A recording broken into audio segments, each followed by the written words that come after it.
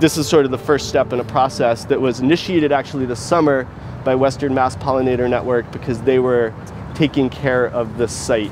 There was no maintenance plan built into this park. So it was just kind of like dangling out there after they spent millions of dollars building this beautiful park. So Western Mass Pollinator Network stepped in and has been maintaining it. And then we got to the point where we can kind of fill in these gaps.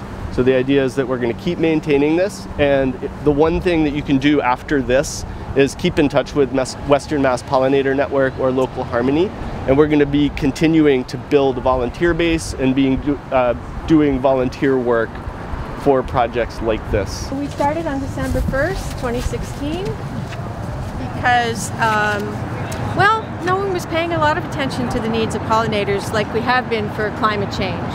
And uh, they're they're in, you know, they're in decline. So one way we can do things is to plant more pollinator plants, and another way is to look at the way we take care of too much lawn. What Pulaski represents is one of the first anchor plantings for a Northampton pollinator pathway that will go from one end of town to the other. And another um, uh, site will be the Senior Center. Uh, we're already starting to work with the Senior Center. The Lilly Library and Forbes Library are very interested. And uh, Owen uh, had another huge group of volunteers uh, plant over at the Hungry Ghost. And if you haven't seen their garden in bloom, it's amazing. So it's really the, the beginning, and we can certainly count um, FOG, uh, Florence Organic Gardens, and the community gardens and everyone's um, backyard or front yard, or if you're a guerrilla planter and you've picked another place in town. Um, so this is going to depend on volunteers for sure. Um, but it's a fun thing to do, and there's a lot of uh, reward um, to our pollinators and to us for helping out.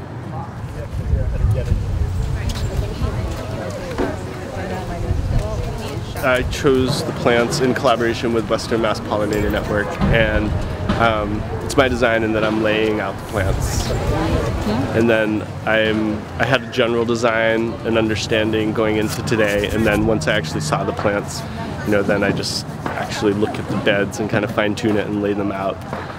Plants were chosen to provide color and pollinator food and they're also chosen so that they fit into the environment here. Mm-hmm. So that already kind of whittled down the selection process. And then in terms of actually laying them out, um, the idea is to create kind of a naturalized look mm-hmm. and to imitate how plants grow in nature. The planting plan's already in place from Stimson, so we're really just riffing off of that. The idea is basically to provide food for urban pollinator habitat. The Hungry Ghost Bakery there's um, a surprising amount of pollinators that show up. Like a vast range of different species will appear there, and it's in an obviously very urban setting. The plants that we're focusing on are the ones that attract the kind of widest range or um, really are most desirable by by insects that like you know nectar. Did you bring your own shovel today? We did, yeah. Okay. what are you planting? Good question. And I knew Claire Grace. Yeah. But ferns are next.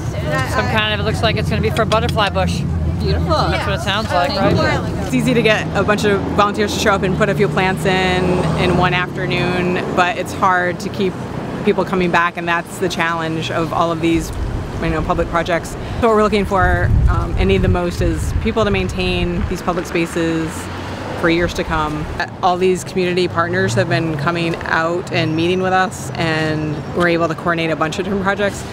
So the senior center here in Northampton has a new director. She's all on board. She's a you know permaculturist and as well as Bridge Street School, Historic Northampton. So it's just it's really exciting that once you get these emails going, like oh, and this person knows this person, and oh, and they they get really excited about the project. We have this whole network now that's really um, that is amazing. Yeah, high energy and really ready to go. We're also planting a trial pollinator meadow on Crafts Avenue. So there's a new ramp and we are planting 460 meadow plugs over there as we speak. We approach people or entities that are public, community based, and we say, wouldn't it be nice if? And we've been communicating with uh, the town, with the mayor, and the, person in charge of central services.